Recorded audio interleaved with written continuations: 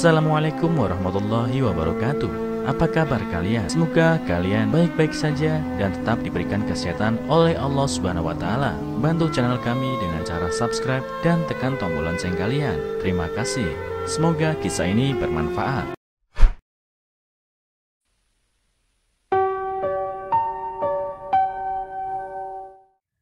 Di alam barsyah orang ini merobek mulutnya hingga hari kiamat. Dikutip dari Cinta Muslimah Sejati. Alam barsyah atau alam kubur adalah pemberhentian sementara sebelum menuju alam akhirat. Setelah ruh terlepas dari jasad, maka Bani Adam akan menuju ke alam penantian untuk menunggu kedatangan hari kiamat. Berdasarkan hadis Nabi, nantinya di alam kubur ruh manusia akan diperlakukan sesuai amalan selama hidup di dunia. Jika mereka berlaku baik, maka alam barsyah menjadi penantian yang pendek. Namun tidak demikian bagi mereka yang gemar melanggar perintahnya. Alam barsyah sudah seperti neraka karena siksanya.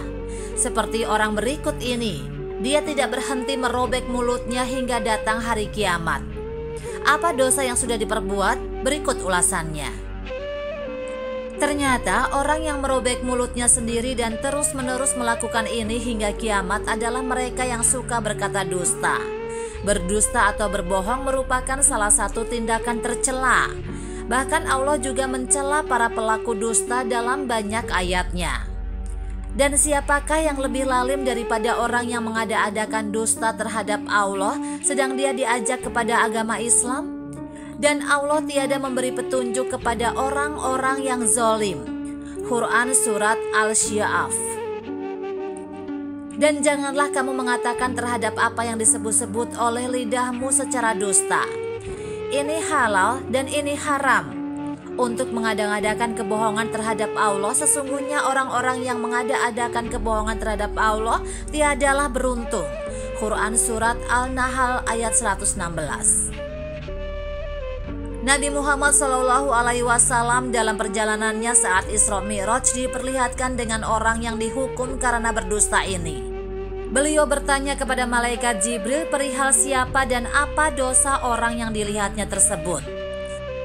Rasulullah Shallallahu Alaihi Wasallam berkata kepada Jibril dan Mikail alaihi salam, sebagaimana disebutkan dalam hadis yang panjang.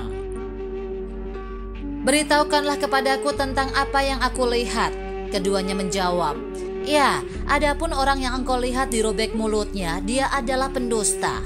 Dia berbicara dengan kedustaan, lalu kedustaan itu dinukil darinya sampai tersebar luas maka dia disiksa dengan siksaan tersebut hingga hari kiamat. Hadis riwayat Al-Bukhari nomor 1386 dari Jundub bin Samurah radhiyallahu anhu. Memang, meski tidak bertulang namun lidah lebih tajam dari sebilah pedang. Dengannya seseorang mampu membalikan dunia dan membuat porak-poranda. Lihatlah bagaimana fitnah para pendusta itu memecah belah umat Memang di antara kita tidak pernah melihat siksa alam barsyah, apalagi siksa hari kiamat.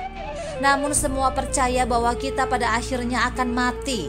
Tidak ada yang tahu apa yang benar-benar akan terjadi nantinya. Namun kita sebagai umat Islam sudah diberi bekal dan pelajaran dari Rasulullah Shallallahu Alaihi Wasallam, sehingga merugilah jika semasa hidup kita hanya sibuk memikirkan dunia tanpa berpikir mempersiapkan bekal di akhirat. Semoga informasi ini bermanfaat dan terima kasih yang sudah mengikuti kisah ini. Diambil dari sumber infounik.com.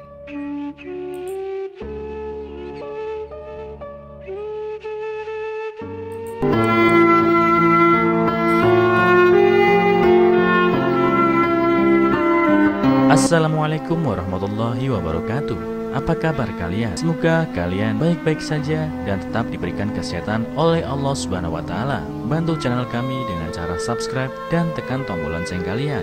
Terima kasih. Semoga kisah ini bermanfaat.